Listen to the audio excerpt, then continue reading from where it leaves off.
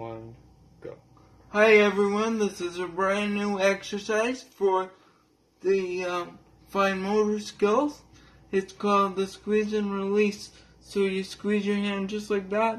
One, two, three, four. Open it back up. One, two, three, four.